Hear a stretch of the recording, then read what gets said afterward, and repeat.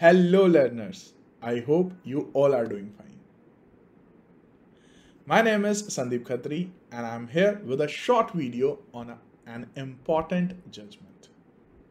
So, इस video को start करने से पहले आपके लिए दो इंपॉर्टेंट अनाउंसमेंट्स अगर आप M P A D P O के लिए प्रिपेयर कर रहे हैं so there is a batch for you जो कि रिसेंटली सितंबर 15 से स्टार्ट हुआ है ऑन अन अकेडमी एंड अगर आप यूपी और छत्तीसगढ़ का एग्ज़ाम देने वाले हैं तो आपके लिए एक क्रैश कोर्स स्टार्ट हुआ है फ्रॉम सेप्टेम्बर एट जो कि आपको आपकी प्रिपरेशन में काफ़ी हेल्प कर सकते हैं।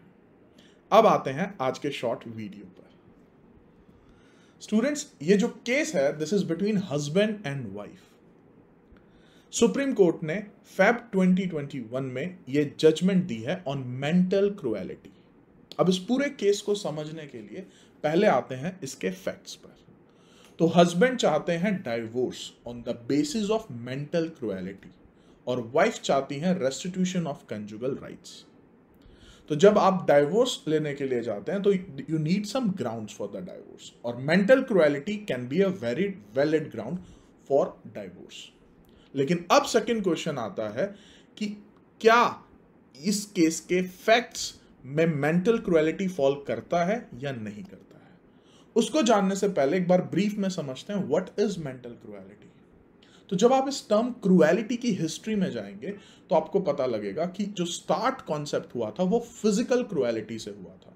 फ़िज़िकल क्रुएलिटी में आ जाता आपका हर्ट ग्रीवियस हर्ट मारना, पीटना। ठीक है जी?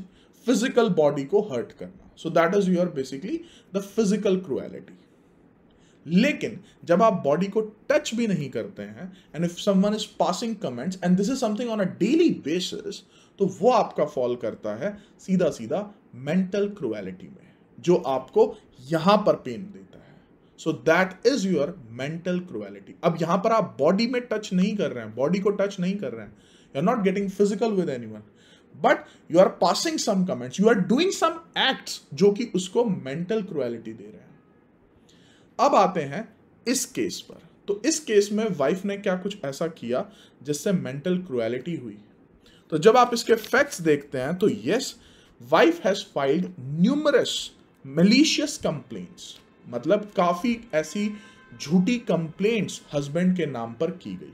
और जब हस्बैंड के नाम पर झूठी कंप्लेंट्स की गई तो उससे उनका जो पूरा करियर था और उनकी जो रेपुटेशन थी, वो दोनों चीज़ें इफ़ेक्ट और जब वो दोनों चीज़ें इफ़ेक्ट हुई तो that cause him mental cruelty तो these were the facts of the case अब आते हैं इश्यूज़ पे तो क्या ये मेंटल क्रुएलिटी थी या नहीं थी?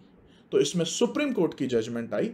The husband is entitled to dissolution of his marriage and the reason very simple mental cruelty and the respondent application for RCR stands dismissed तो वाइफ की जो एप्लीकेशन थी उसको डिसमिस कर दिया गया। सो so, ये केस जब भी आप आंसर लिखेंगे on mental cruelty this is going to be your one important landmark judgment on the case of on the point of mental cruelty last but not the least mental cruelty का concept and I hope most of you will agree on this कि mental cruelty ज़्यादा pain करती है in most of the time in comparison to physical cruelty so that's it from my end see in my next video till then let's crack it